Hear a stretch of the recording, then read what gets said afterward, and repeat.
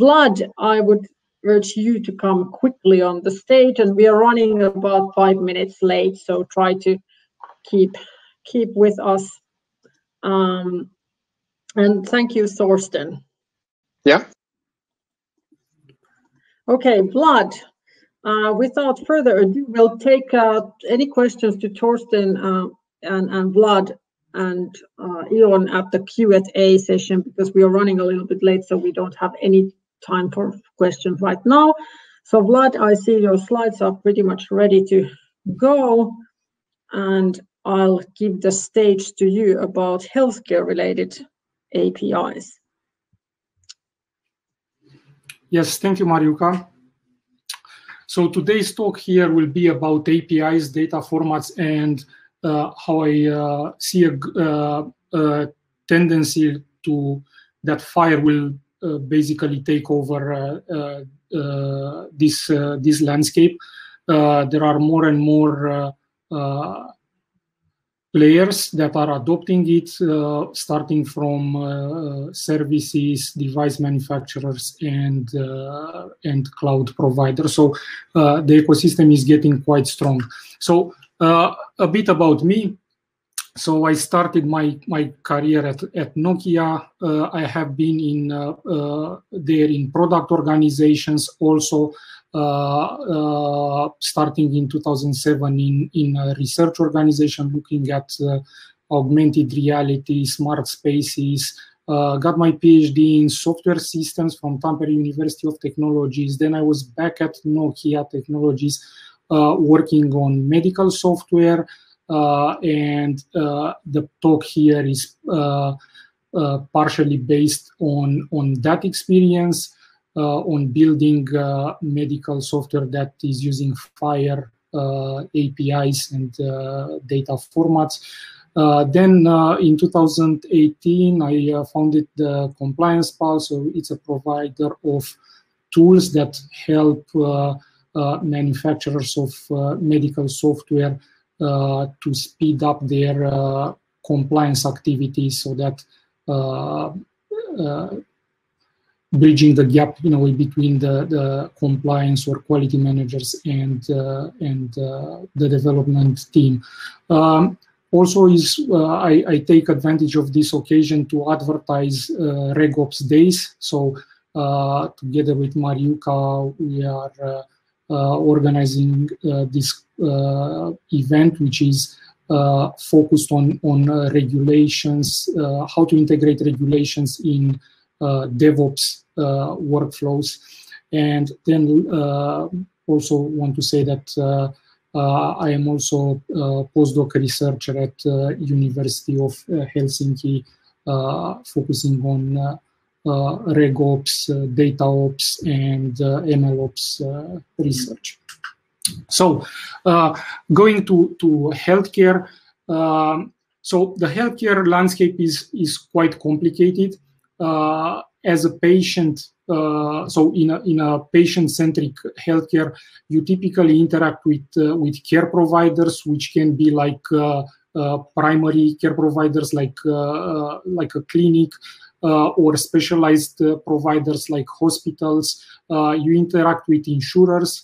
You take medicine, so you have to go to a pharmacy. You have to present some prescription to get the medicines.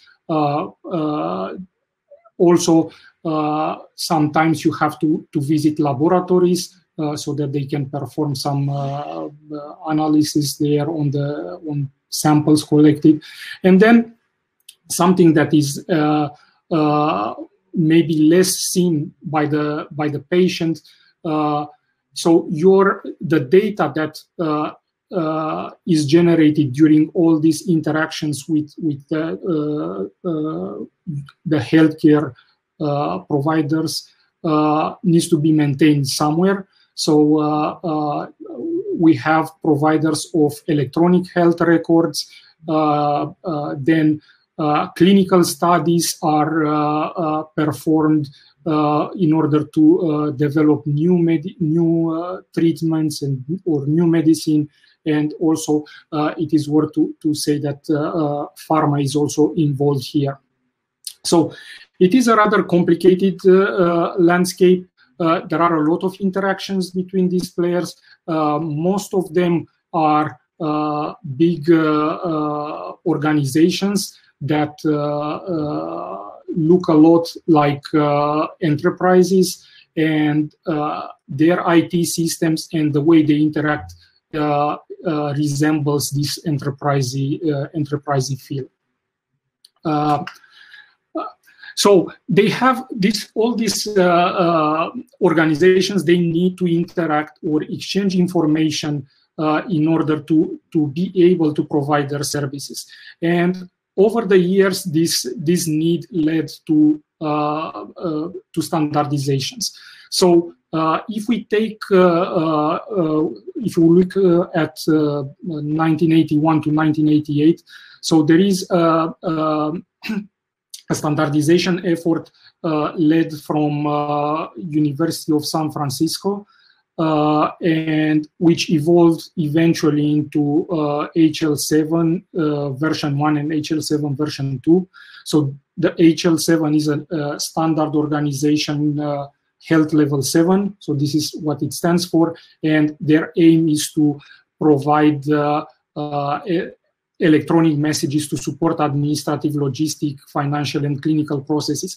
So there is a, a short extract of how this uh, uh, records look like, and we can see that they are uh, pretty uh, arcane. So you need to do quite a lot of parsing to understand what this means. So also the medical imaging has developed their own standards. So uh, between 1983 and uh, 1993, uh, all this uh, radiography, ultrasound, uh, computer tomography uh, have developed their own own standards. they are so DICOM stands for Digital Imaging and Communications, and this standard is mainly supported by uh, organizations that provide this uh, specialized equipment inside uh, inside hospitals. Uh, around 1994, um, uh, LOINC uh, was created. so LOINC starts for logical observa observation identifiers and names and codes. So the fact that a standard organization is named logical uh, describes quite a lot uh, about uh, this landscape. Uh, and uh, the, the mission of LOINC was to, to standardize uh, two aspects. So laboratory and microbiology tests, and then clinical observation reports and surveys. And around 95 to so between 1995 and 2005 uh, hl7 uh, created a new generation of uh, of standards so uh, the version 4 it is based on xml and it starts to to uh, let's say uh, do a more principled uh, uh, design of of these resources that are used to to exchange data. So they have a resource information model that tries to to to model all the healthcare workflows there, are, there is a formal methodology and it adopts the, the object-oriented principles. Uh, so if we want to look at, uh, so ECG is a very good example of the multitude of standards that exist in this area. I won't spend too much uh, on this, but you could see that there are uh, uh, quite a lot of them. So the ECG stands stands for the for uh, electrocardiogram. So uh, the ways to record uh, signals collected from heart, electrical signals collected from heart. Uh, but so after this, so around 2005 or early 2000s, uh, we uh, we saw uh, a rise in consumer wearables, and this phenomenon enabled, due to miniaturizations of the sensors, enabled uh, recording of quite many uh, biometric data about a person. And the, the, the result of this is that instead of the of care being bounded to the hospital or to the time of the visit at the hospital when uh, a doctor or a medical professional can see you. So uh, this enabled uh, uh care to be extended to the place you are. So you don't have to go to a formal uh, care uh, location. And then because most of these services or are developed to work over internet, uh, we know we witnessed quite a lot of uh, uh, internet standards adopted by these devices. So overall, the the health ecosystem is looking less enterprisey and more like like the the internet or the open internet. So HL7 uh, recognized uh, uh, this evolution and starting in 2014, uh, it released the first version of, uh, of a new standard called FHIR, which stands for Fast Healthcare Interoperability Resources. And uh, it is based uh, quite a lot on uh, uh, internet or the technologies that are used on the open internet. So we have XML, we have JSONs, JSON as, as serializations. For the data exchange, we have REST APIs. Uh, and then uh, the security starts to look much more like the, the, the open web.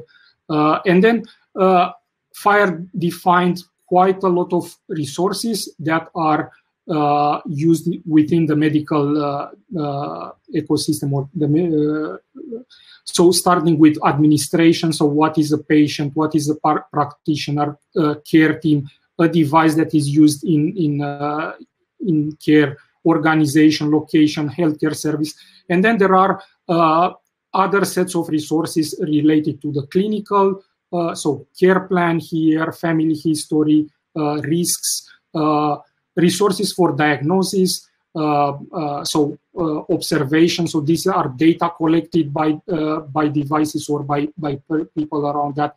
Medication, workflows, uh, financial, so that you can make claims and and so on. So we can see that it is a comprehensive uh, uh, standard, which was uh, updated uh, uh, regularly. So release 2 introduced JSON and OAuth 2.0. So it allows users to authenticate using OpenID Connect so that they can be part of the internet ecosystem. Release 3 introduced RDF, so uh, which allow uh, uh, annotation of the data using, again, like an open framework uh, developed by W3C. And we are currently uh, with the release 4. And uh, this is like what most providers offer these days or support. So if we if we look at at FHIR, uh, so you could see that there is a collection of of resources, uh, some serializations, and a way to interact with them which is pretty basic. And uh, if you build the, a minimal server, it has uh, a, a, collection of resources uh, which are described in a RESTful manner using a capability statement uh, uh, document. So a client that wants to interact with your server or service will fetch the, the capability statement and it will detect how it can interact or what your server capabilities are and how it can interact with, with that. Uh, and then if you want to exchange information with other uh, systems, so you could you could uh, exchange these observations. So it is a very simple, uh, uh, let's say, system. It enables you to build a lot of stuff, but it also has poses uh, quite significant uh, uh, questions for an implementer. So first is like, can I interact with this server? do I have the, their capabilities? Uh, how well defined these observation formats are? Uh, because they uh, FHIR defines LOINC, but in some cases, there is no LOINC definition. So I can say that when I was at Nokia and we we were collecting ECG data, there was no LOINC information for collecting uh, raw ECG data, so the raw signal collected from the uh, from the sensor. Then another uh, another interesting or important aspect is like, does your observation is supported by other other system, especially the the electronic health record system. again, LOINC might define uh, uh, data formats for for uh, for these observations, but they might not be supported by by an implementation. And then another thing that needs to be concerned is like what kind of storage capability or storage uh, capabilities you need to store that information. So uh, in the medical field, we we are we we, we can like classify observations into to two category. Uh, so one is like dense, which is like the, the uh, ECG data, which is collected all the time or uh, uh, so also from the brain uh, is the same. Uh, and then there are sparse observations like uh, weight observations, which are quite rare and then they are quite small. So to give an example, one hour of, of ECG data is the equivalent of 1 million weight measurements. So uh, also these things, they need to be considered. Uh, so uh, HL7 uh, is aware about, uh, about uh, these limitations. And the first effort to, to overcome this is like around 2013. So they adopted smart uh, on FHIR, or they defined smart on FHIR, and that was at that time an attempt to create this kind of healthcare universal API that uh, will allow uh, the development of iPhone-like applications. So this is exactly like uh, from their charter. So iPhone-like application was something that they were looking at. Uh, Project Argonaut is a continuation of, of Smart on FHIR. Uh, it was like uh, around 2014 and it is uh, it builds on on integrating more and more internet standards and architectural patterns into FHIR. Uh, gravity project 2018 so this uh, this is a uh, to extend FHIR with resources that will encode uh, social determinants to health. So these are like uh, food uh, insecurity, like housing instability, quality, uh, transportation access. So some uh, resources that help uh, policy decision in in at population level and and so society level in healthcare. then there is the CodeX project about uh, Uh, cancer care and research, and then uh, uh, Vulcan, which uh, uh, tries to bridge the clinical care and clinical research. So there are things there that can be improved so that FHIR can be used more easily into research context.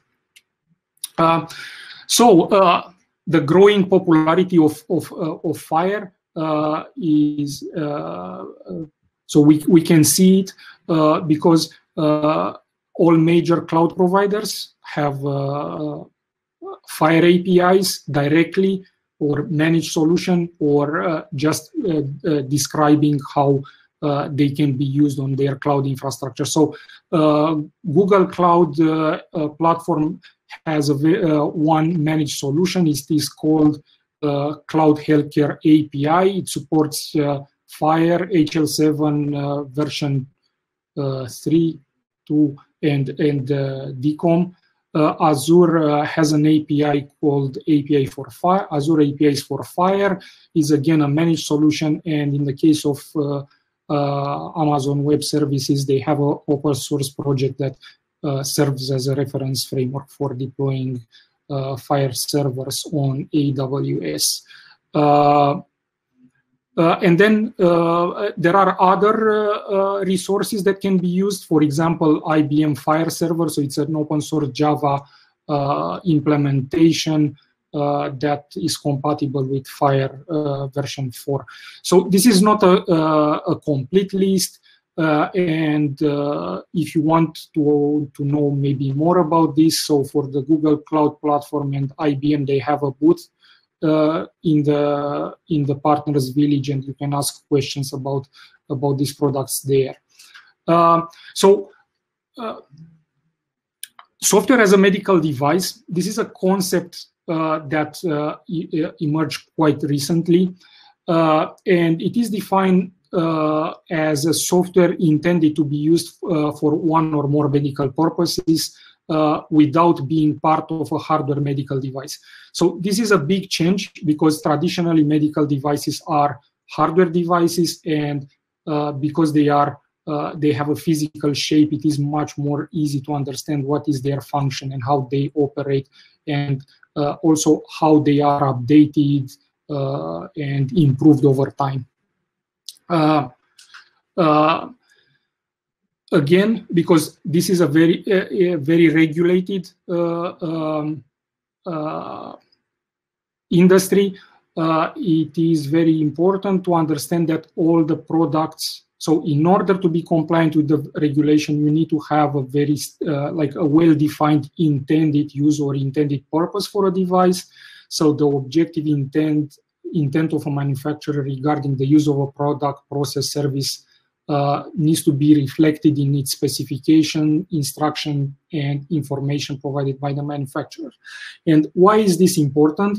Is because uh, the there are the, these regulatory considerations. So uh, from a legal legal perspective, uh, in United States there are the FDA guidelines and uh, HIPAA, and in Europe there is the medical device directive, and from next year medical medical device regulations and GDPR, and to be compliant with these legal uh, frameworks, uh, you during development you need to have uh, in place a quality management system that takes care of the risks.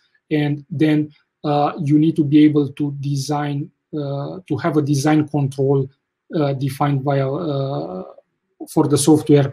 Uh, so that needs to be well defined. So well defined software development lifecycle and if you don't have an intended a well an established intended purpose it is impossible to do to perform these these tasks uh, that are required by the regulations.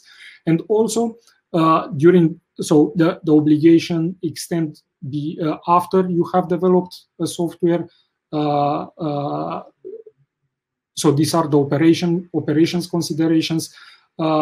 You may you might use capabilities offered by cloud providers uh, they are third parties into into the uh, uh, from your product. So, so uh, you need to have uh, uh, business agreements. You need to be to ensure that the cloud providers either providing the case of managed services or you can configure all the requirements that are uh, imposed by the FDA guidelines or the medical device uh, regulation.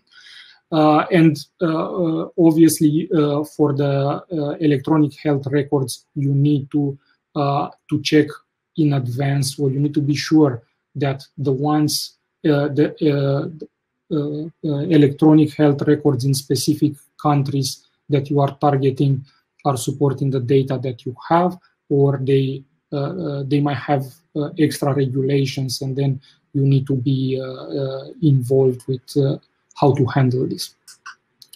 So, as a conclusion, uh, despite despite uh, uh, all uh, this, uh, in a way, green picture uh, about developing medical medical products nowadays, it is easier than ever to build her- healthcare products. So the the you can you can use managed services from cloud providers this allows you to, to, to leverage their capabilities. Uh, then uh, there is also a lot of expertise uh, and more and more available to, to, to build the healthcare products. FHIR is the gold standard, in my opinion. So it is better to always look uh, what kind of uh, resources are uh, defined in in FHIR and and uh, look at them. Uh, they can save you a lot of trouble because you uh, you might reach the same the same conclusions as them but it will be more expensive. And last but not least pay attention to to regulations Uh, they are quite strict in this this domain and uh, it is it is better uh, to uh, uh, be uh, familiar with them earlier than than than later, especially if the development methodology uses agile. So this is the the the talk and if you have any questions related to, to, to the talk itself, FHIR, or uh, anything related to, to how uh, to develop medical devices using uh, agile methodologies, drop me a line. Great. Thank you, Vlad, for a great presentation.